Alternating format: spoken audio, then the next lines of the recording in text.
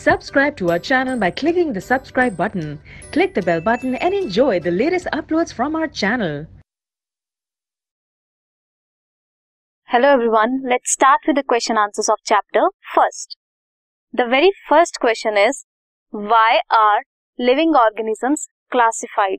Living organisms को classify क्यों किया जाता है लिविंग ऑर्गेनिजम्स कौन कौन से हैं प्लांट्स एनिमल्स माइक्रोब्स अब प्लांट्स है एनिमल्स हैं, माइक्रोब्स हैं, ये क्या है? ये इनकी क्लासिफिकेशन है, ये इन्हें नाम दिया गया है।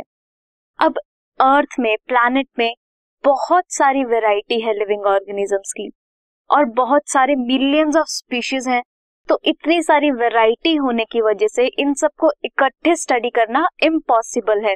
It is impossible to study millions of living organisms present on this planet इसलिए साइंटिस्ट ने एक ऐसा मैकेनिज्म डिवाइस किया है, जिसकी वजह से डिफरेंट डिफरेंट लिविंग ऑर्गेनिजम्स को क्लासिफाई किया है on the basis of some rules and principles for example एक ही कैटेगरी के या एक ही सिमिलैरिटीज के जो ऑर्गेनिजम्स हैं, वो एक कैटेगरी में रखे हैं।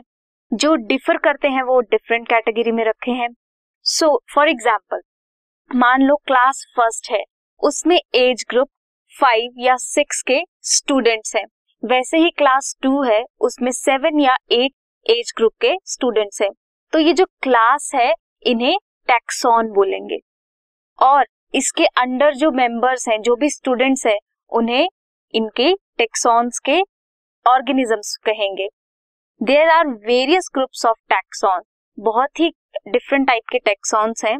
स्पीशीज उसमें से लोवेस्ट है and kingdom is at the highest position जितनी ज़्यादा सिमिलैरिटीज हैं, उतने ही ज़्यादा वो रिलेटेड होंगे।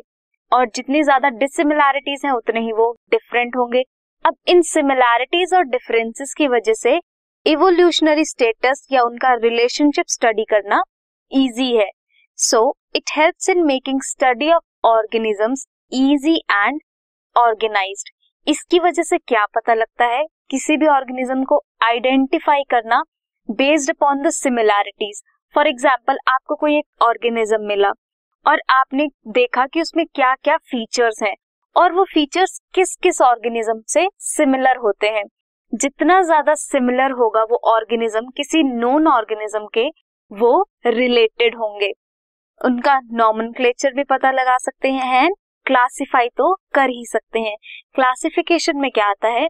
Species genus family order kingdom phylum ये सारे टेक्सॉन्स हैं। इसके अंडर हम ऑर्गेनिजम्स को क्लासिफाई करते हैं।